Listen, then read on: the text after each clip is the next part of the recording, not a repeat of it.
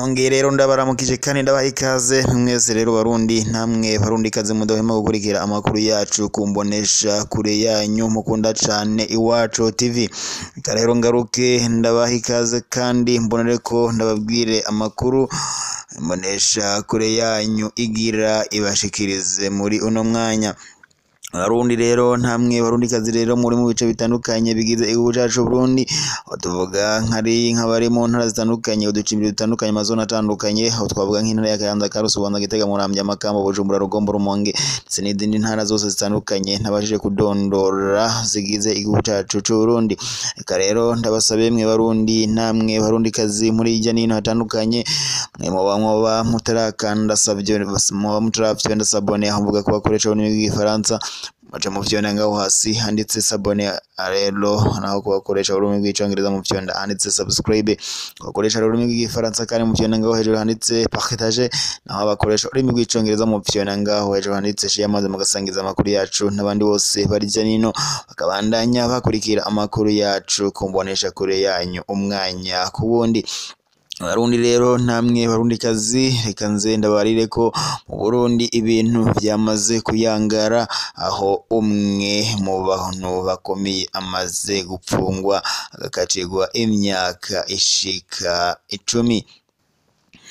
Barundi rero namwe barundi kazi reka nze ndabashikirize ingingo nkuru nkuru amakuru yacu agira. Yibandeko mu Burundi tugira tubarire ko umukenyezi wa Kome Manirakiza yaciriwe gupfungwa imyaka cumi kubera ubunyonyezi.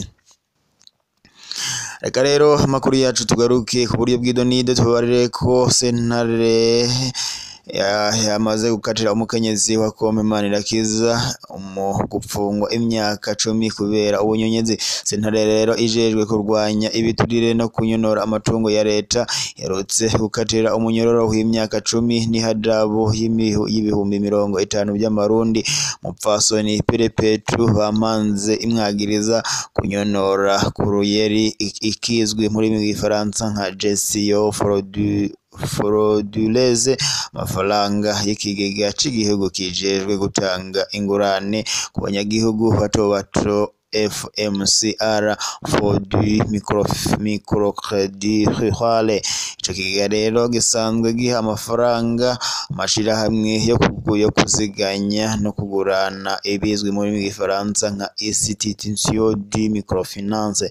Rero Perepetu Bamanze yarongoye ikigega FMCR ico kigega rero carahaye amafaranga atari make ishirahamwe ryo kuziganya no kugurana kadese FMC pere EMF Perepetu rero Bampanze yagirizwa kunyonora amatungo ya FMCR afidekanije na kadef na kadese MF iruhande rero y'ibihano vyafatiwe Perepetu Bamanze sentare ijejwe kurwanya ibiturire yashize yashinze ko kadese MF itegerezwa gutanga ihadabu ringana n'imiliyoni ijana na cumi n'icenda n'ibihumbi icumi by'amafaranga y'amarundi. Kadese rero MF itegerezwa kandi gusubiza mu kigega FMCR mahera angana n'ibihumbi n'imiliyoni mirongo icenda na zitanu n'ibihumbi magana atanu na mirongo ine n'icenda n'amafaranga ijana mu mafaranga y'amarundi yongera kandi itanga gatatu kw'ijana ry'ayo mahera mu kigega ca leta. Uwundi rero yahanywe co kimwe na Perepetu Bamanze ni uwitwa Jean Faustin Niyibizi. Wokwibaza rero ese yoba ari intango yo guhana Kome? Manirakiza Perepetu Bamanze rero ni umukenyezi w'umushikiranganji w'umushinga amateka Kome Manirakiza umuryango wa Kome Manirakiza rero uzwi mu butunzi butangaje.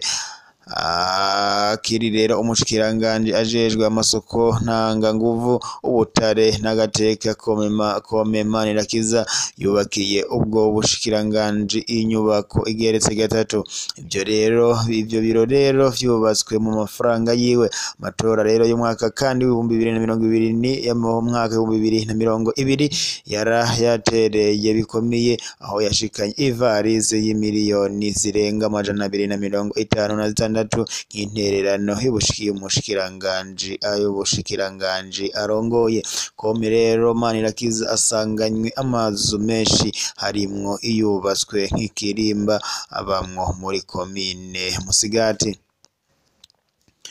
Muri gitugutu rero ibihumbi bibiri na mirongo ibiri n'umwe kome Manirakiza kome Manirakiza na Perepetu Bampanze bakoze umunsi mukuru bagakura bahimbaza imyaka mirongo ibiri n'itanu y'ubugeni bwabo aho aho batumiye abanyagihugu benshi b'i Musigati kunywa inzoga zose bifuza harimwo n'injabuka. Bivugwa ko rero ayo matungo y'umurengera ku muntu ajejwe ubushikiranganji bw'ubutare atuma benshi bibaza iyo yavuye. Mu mwaka uheze rero perezida Ndayishimiye yerekanye urugomero rwa Mpanda rwitwa ko rwubatswe ku miliyaridi mirongo itanu na zine ariko rutigeze rubaho. Mu by'ukuri rero umukuru w'igihugu cy'u Burundi Evariste Ndayishimiye yari yavuze ko mu ndwi zibiri abakoze iryo bara bazoba bahanywe ariko ntacakurikiye ako kamaramaza rero kabaye mu gihe Kome Manirakiza yari umushikiranganji ubijejwe. Perezida rero Ndayishimiye nk'umuyobozi nk'umukuru w'igihugu cy'u Burundi yaravuze kenshi ko ubusuma bwabaye mu bijanye n'ubutare mu gihe cyo Kome Manirakiza yari umushikiranganji abijejwe. Perezida rero Ndayishimiye yakomeje avuga ko hagiye harakagiye harakorwa amasezerano abiri abiri yo gucukura ubutare bwo mu gihugu cy'u Burundi ay'ukuri ndetse akanyegezwa naho ay'ikinyomwa agahabwa igihugu kugira igihugu igice kinini c'amahera ava mu butare aje mu mifuko y'abarundi. Ni naho rero havuye ko perezida Ndayishimiye yahagaritse amasezerano yose yo gucukura ubutare bw'u Burundi. Kuri rero ibyo byose kuri ibyo byose rero ntacakurikiye nta matohoza na makeya nta dosiye mu butungane yigeze igaragarayo. Abarundi rero namwe barundi kazi reka ndabare ko muri kino gihe Kome Manirakiza ni umushinga amateka aserukira intara ya Bubanza. Umukenyezi wiwe rero ni Perepetu akaba rero kandi ariko aridegembya bikavuga ko rero urubanza yaciriwe ntiruraba ndetse bakavuga ko nta ntabanduka kuko ariko arereku ariko hararekurirwa kunguruza urubanza muri sentare ntahinyuzwa reka rero amakuru yacu tuyasubikire ngaha ariko rero barundi ntamwe barundi kazi mudahema gukurikira amakuru yacu kumbonesha kuri yanyu. Imwe rudende aho mvuga nk'abo tutatanguranye amakuru yacu reka nze ndababarire ingingo nkuru nkuru amakuru yacu yariko aribandako. Twaba ariko ko mu Burundi rero hariko haravugwa inkuru igira ati umukenyezi wa Kome Manirakiza yaciriwe gufungwa imyaka cumi kubera ubunyonyezi.